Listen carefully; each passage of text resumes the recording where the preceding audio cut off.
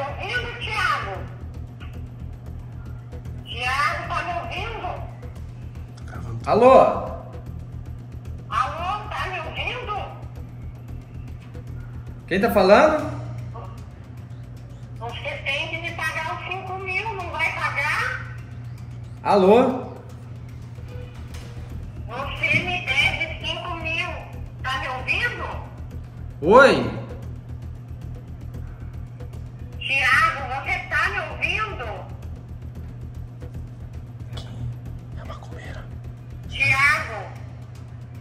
Quem tá falando? você sabe quem tá falando. Você me deve 5 mil. Não vai pagar? Eu não tô entendendo o que você tá falando. Você me deve 5 mil. Você sabe disso. O, o que que eu comprei? me pagar? O que que eu comprei seu? Você não comprou nada. Eu é que tenho a sua vida na minha mão. Ué, se eu não comprei nada, como que eu te devo 5 mil? Tem minha vida, tem o quê? Vai deixar a sua vida na minha mão? A minha vida tá na mão de Deus. Por que, que você fica enchendo o saco? Por que, que você não vem aqui? Por que você não vem aqui conversar pessoal? Por que você não vem conversar pessoalmente? Não preciso disso. Você vai me pagar os 5 mil. Ou você vai deixar as coisas piorarem. Não tem nada ruim, porque o que, que vai piorar? Você nem imagina. Você gostou do bolo? Você não tem vergonha na sua cara. Você não tem vergonha na sua cara de fazer aquilo lá. Não, Tava tem- gostoso, não tava? não comi aquilo lá não. Joguei fora. Ai, que pena. E a carta? Você gostou da carta? Que carta? Você. Ah, então é seu filho mesmo, né? Eu vou falar bem a real pra você. Escuta muito bem o que eu vou falar pra você. Se você, ou seja seu filho, ou seja quem for, aparecer aqui na porta da minha casa, vocês vão arrumar pra cabeça? Eu tô falando pra vocês parar de ficar enchendo meu saco, parar de vir aqui, parar de fazer essas coisas. Me esquece, eu não devo nem um centavo pra você, então para de ficar me enchendo o saco, fechou?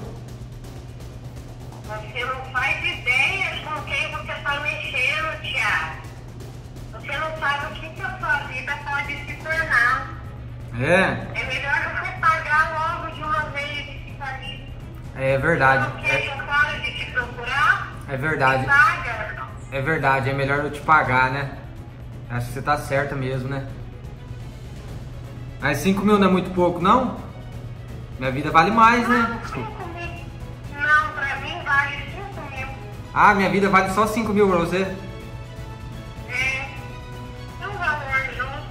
Ah, é um é um valor justo, né? Tá certo, é. É, não tô valendo muita coisa então não, né? Mas vamos fazer o seguinte. É, me passa seu Pix aí, já vou transferir pra você agora, aí você já encerra esse negócio. Você acha que eu sou boba? Não vai pagar por Pix. Vai ter que pagar em dinheiro vivo. Mas eu só, só trabalho com Pix. Não, você vai dar o seu jeito. Eu quero dinheiro. Ah, deixa eu falar pra você. Você, não- você não tem vergonha na cara de ficar ligando pros outros e, e fazendo esse tipo de coisa? Isso, isso, isso aí é chantagem. Não, não é chantagem. Eu só tô te oferecendo a oportunidade de ter a sua vida de volta. Ah, e- ah, então eu não tenho vida. Então eu não tenho vida. Eu não tenho vida. Você tá vivendo de uma forma que você nem imagina. Não, eu imagino, eu sei o jeito que eu tô vivendo. Você que pensa. É muito abusada, né, essa mulher. Você poderia estar imaginando que tá vivendo do jeito que tá, não poderia? É, eu acho que não tá legal, né? É. Só pagar, Thiago. Você tem esse dinheiro. Paga e tudo acaba.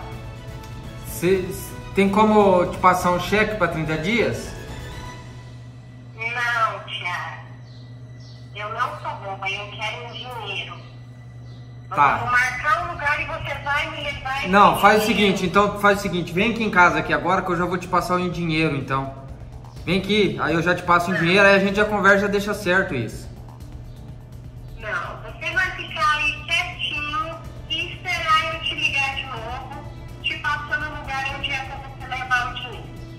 Você Ah. vai deixar lá e. Mas você não quer o dinheiro? Vem aqui buscar, eu já te passo o dinheiro. Pergunta se ela não pode fazer um boleto você Não é pagar. assim que funciona, Thiago. Ou faz um boleto, aí eu pago, o dinheiro entra na sua conta. Você tá brincando com o fogo, Thiago. Você consegue- Não vai querer me ver irritada. Você consegue fazer uma nota fiscal também de serviço?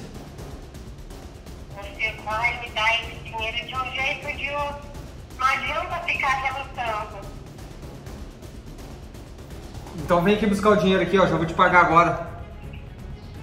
Ó, eu vou falar bem real pra você, escuta muito bem o que eu vou falar pra você. Se você ficar me enchendo o saco, um dia eu vou te encontrar, um dia eu vou saber quem você é. Encontrar você, seu filho, vocês arrumar pra cabeça, viu? Se eu ver você, escuta muito bem, se eu ver vocês aqui na porta da minha casa, colocando alguma coisa, você está lascado. Vocês vão se arrepender, vocês podem ter certeza disso. Não, não tô nervoso, eu não. vou te ligar. Eu não tô Eu nervoso. vou te ligar e falar onde é pra você deixar o dinheiro. Ah, então tá. deixa o dinheiro pronto. Tá, eu. E tem mais uma coisa. Hum. Ah, tem mais, tem mais coisa. Tem uma surpresa pra você. Dentro do que? Dentro do quê? Desligou? Desligou. Olha que desaforada, mano. Ai, essa mulher é muito abusada, velho. Que mulher abusada, cara. E o que, que é essa carta? Que essa carta eu não tô sabendo dessa carta, Thiago. Tava eu e a Thaís aqui em casa, a campainha começou a tocar. Aí eu, eu olhei lá por- pelo coisa, tinha um cara ali embaixo, de boné. Um garoto assim, sabe? Sei. Aí a Thaís foi ali pra ver, não tava mais.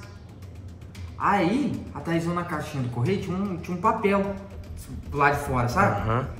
Aí a Thaís pegou essa carta, era o filho dela, falando assim, você tem que pagar minha mãe, tem que pagar os 5 mil pra ela, que não sei o quê. Olha, você acha, velho? Ela usa até o filho dela a favor dela. É safado, bando de safado, filho, bando de safado. Ir na porta de casa, tocaram a campainha. Nossa. E eu fui atrás, mas não tava mais. Eu não sei se ele deixou algum carro, alguma moto lá pra esquina, sabe? Aham. E depois correu e foi embora. E, véi, olha aí, cara. Thiago, eu pensei de você perguntar pra ela se pode acontecer alguma coisa comigo pra mim ter comido bolo. Mas e se, por mais que não aconteça, ela começar a usar isso de chantagem também? Acho que daí não é uma boa ideia perguntar, né? Ué, pelo jeito, ela nem viu que você comeu o bolo, mano. Então, e se fosse pra acontecer alguma coisa de Porque, mal comigo, já porque tinha ela falou, você gostou né? do bolo? Eu falei, eu não comi. Ela falou, ah, que pena. Ela nem, nem sabe, senão ela tinha falado alguma coisa. É, se Mano, sabe o que que é isso aí? É, é nego que gosta de se aproveitar da vida, é, gosta de se aproveitar dos outros, tá ligado? Uhum. Eu, ela falou que vai me ligar pra me levar esse dinheiro pra ela. Eu vou encontrar essa mulher, mano. Eu vou encontrar essa mulher, eu vou ferrar com a vida dela. Thiago, mas depois daquele voodoo ali, daquele boneco, não aconteceu nada de ruim com você? Você não sentiu Não, nada? tô de boa, filho. Não pegou nada? Aí você fala, meu bagulho, cara. Tá vendo? Porque, por exemplo, pode ser. Pode ser que, que é uma pessoa só fazendo isso com chantagem, mas pode ser também uma pessoa que sabe fazer realmente o trabalho e aquele voodoo funciona. Caralho, você entendeu? falou, começou a trancar minha garganta, pô. Ela falou, ela, ela falou que antes de ligar, eh, você viu a surpresa tem dentro do boneco? Que surpresa? Então, Será que tem uma coisa do boneco, mano? será que a gente abre ele pra ver?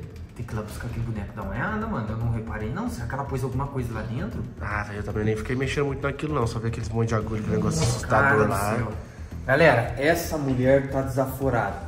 Mano, é, eu não sei, eu não sei se eu vou dar um jeito de encontrar ela. Ela falar, ah, você tem que vir aqui pra me pagar. Talvez eu vou lá pra encontrar ela. O que, que você acha, ué? Ah, Thiago, velho, não sei, eu acho que você deve abrir aquele boneco pra ver se tem alguma coisa lá. Se você não tivesse sentido, se eu tiver normal, não tivesse sentido nada, eu acho que você não deve pagar nada pra ela, mas se você começa a sentir mal alguma coisa é porque o negócio já é mais sério. Aí se fosse você eu pagaria, velho, porque tem coisa que não dá pra brincar. Não, mas eu não vou pagar nada não, rapaz. Você acha que eu vou pagar alguma coisa pra ela? Não, mas eu acho que é isso aí. Eu acho que eu vou lá buscar aquele boneco e a gente vamos abrir ele. Pra ver se tem alguma coisa.